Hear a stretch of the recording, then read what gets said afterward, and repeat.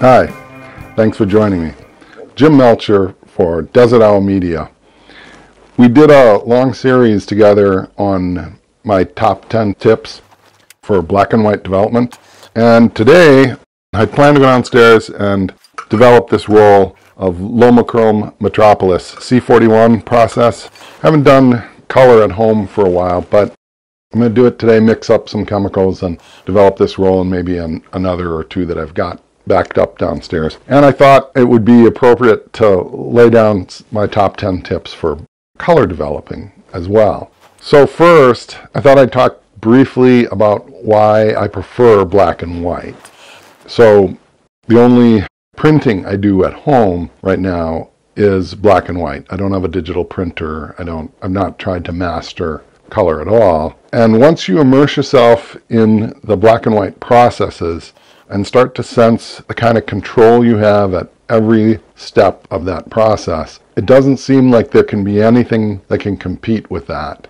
I'm probably giving color printing short shrift, but I do think what you're doing when you create a negative in black and white is a very different approach because you're targeting all the control you'll have in the darkroom for your print.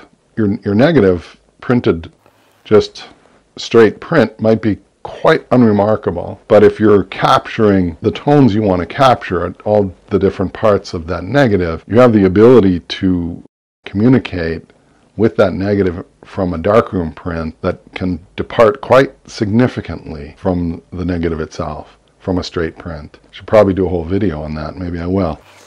So along with that, the traditional black and white photography goes back to the beginning of photography. And when you're doing it, when you're pre-visualizing a picture, when you're taking the picture, even loading the film, you know, everything everything about the process, developing your black and white, choosing a developer, you know, finding the right correct time for the exposures you're creating, taking that negative into the darkroom and putting it through a paper choice, putting it through a developer choice, timing, dodging, burning, toning. It's a tradition, and you feel like you're becoming part of it.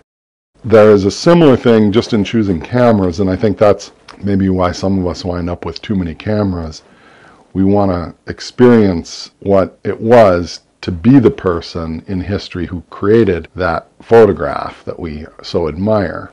We don't necessarily want to be, you know, at Omaha Beach on D-Day with a Contax rangefinder in our hands. But the experience of being the photographer who used that day to day, I think that's that's an attractive thing to well, at least to me.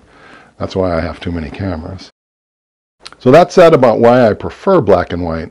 Why shoot color then? Why shoot color? Why develop color negatives?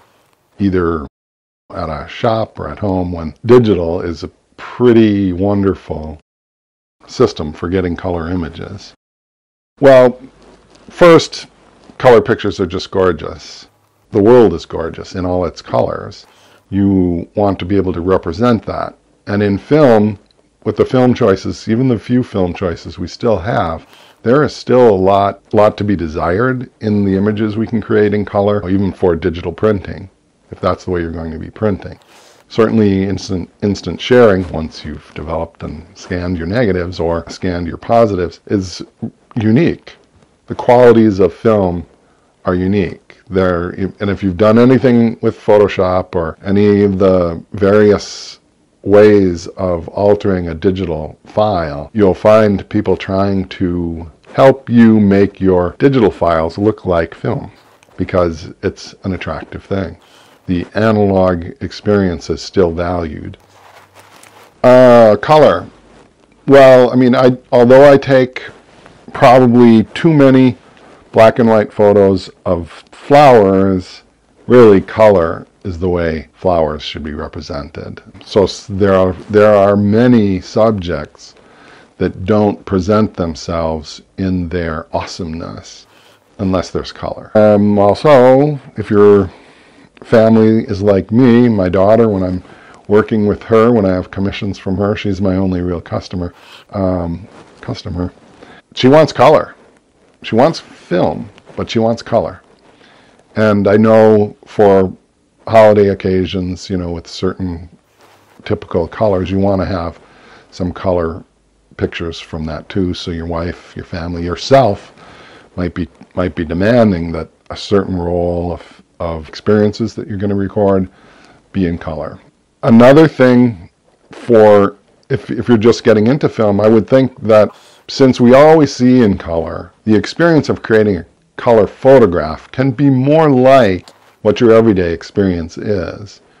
I don't want to downplay what composition is like in, for color photographers because I think it's a real discipline, but it's not quite as unique a discipline as black and white photography where you have to abstract from the color and you have to be thinking in tones and you have to be thinking in getting those tones onto film and you're you're not necessarily even trying to make the negative look like what you're seeing because the negative is a means to a print and you need to record maybe some tones that are not that obvious. You need to highlight them in some way in black with a black and white photograph so that you can include them in your final product so in a way composition is easier. You can your your jumping off point to composition is your everyday experience, what you always always are seeing, which is color, assuming you're not radically colorblind.